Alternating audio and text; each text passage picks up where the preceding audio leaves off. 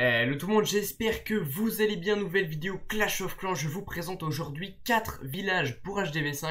Donc voilà, pour une fois qu'on pense à vous, les petits niveaux d'hôtel de ville, j'espère que cette vidéo vous plaira. Sachez que je suis actuellement HDV6, mais je viens de passer HDV6, qui fait que, euh, en fait, j'ai uniquement les bâtiments à votre écran. Là, il y a uniquement les bâtiments d'HDV5, donc ne vous en faites pas, c'est bel et bien euh, des villages HDV5 et pas HDV6. Il y a vraiment que les bâtiments HDV5.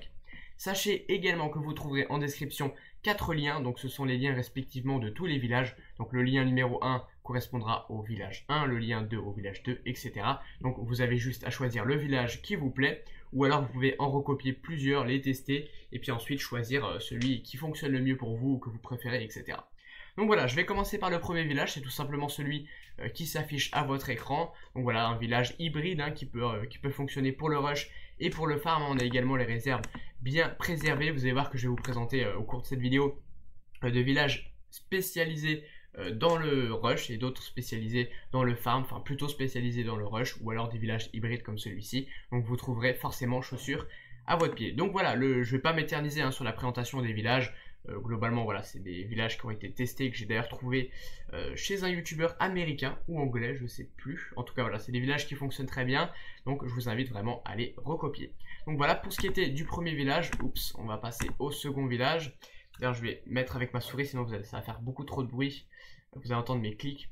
Donc on va euh, le définir comme actif, celui-ci. Voilà, le second village.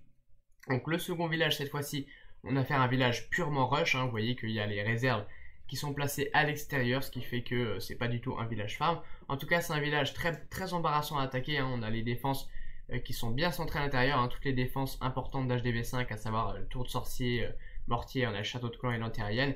Donc voilà, on peut également, enfin, on, peut évidemment pas balancer les troupes directement à l'intérieur, hein. il n'y a pas suffisamment d'espace. Donc voilà, village très efficace. Ensuite, j'en ai encore deux autres à vous montrer en guerre de clan. Donc on a celui-ci. Je vais aller modifier le plan. Voilà, donc encore une fois, village euh, plutôt basique. Hein. Encore une fois, il y a les réserves euh, placées à l'extérieur, donc c'est un village purement rush. Pas évident d'attaquer ce village, tout simplement parce que si on attaque par là, eh bien on a affaire... Euh, enfin, en fait, il y a principalement quatre choses importantes en HDV5 pour rush. C'est le mortier, l'anti-aérienne, le château de clan et la tour de sorcier. là, vous voyez qu'il y en a deux de chaque côté. Donc si votre adversaire attaque par là, eh bien il va avoir du mal à détruire le mortier et l'anti-aérienne. Et à l'inverse, s'il attaque par là, eh bien il aura du mal à détruire le château de clan et le tour de sorcier. Donc c'est un village pas mal. En plus, il y a beaucoup de compartiments, donc beaucoup de remparts à faire face. Donc c'est vraiment un très très bon village. Ensuite, quatrième et dernier village. Celui-ci, sans doute, mon préféré, c'est celui que je vous recommande. Il peut paraître un peu curieux, mais en fait, c'est un village très, très efficace et je vous expliquer pourquoi. En fait, vous voyez que là, il y a une grande disposition de remparts en bas, donc euh, qui est vraiment bizarre. Mais en fait, ça oblige votre adversaire à attaquer par là. Enfin, ça incite plutôt qu'oblige, ça incite votre adversaire à attaquer par là. D'autant plus que comme vous êtes comme on est euh, sur des HDV5, souvent c'est des joueurs qui n'ont pas beaucoup d'expérience, donc ils peuvent être tentés de se dire que c'est un village bizarre, je vais l'attaquer, il va être facile à prendre. En plus là, il y a beaucoup de bâtiments euh, qui peuvent sembler gratuits, du coup il va avoir tendance à vouloir attaquer par là, en tout cas un débutant, sauf que voilà, il va avoir à faire face au mortier qui va tirer, euh, ses troupes vont passer, vont complètement faire le tour de la base en fait, il y a une espèce d'anneau, ils vont perdre énormément de temps à détruire tous ces bâtiments, Sachant qu'en plus ils sont très espacés, donc euh, ils perdent du temps à se déplacer pendant que les tours d'archer et les canons tirent. On a également le mortier qui peut tirer le château de clan qui va être déclenché. Donc voilà, excellent village. En réalité, moi je pense qu'il faudrait plutôt l'attaquer en haut en mettant des petits casse-briques pour créer une ouverture par ici. Mais je pense pas que c'est le réflexe qu'auraient des joueurs débutants.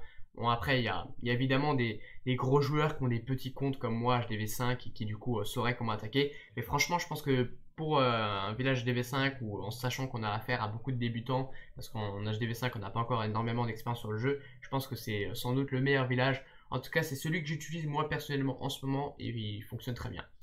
Donc voilà, c'était tout pour cette petite vidéo, j'espère qu'elle vous aura plu. Dites-moi dans les commentaires le, le village pardon, qui vous a le plus plu, donc le 1, le 2, le 3 ou le 4. N'oubliez pas également de me laisser un petit pouce bleu. Je vous invite, euh, pour tous ceux qui découvriraient la chaîne sur cette vidéo, à vous abonner. Hein. C'est une chaîne avec du contenu exclusivement Clash of Clans avec des petites vidéos tous les jours.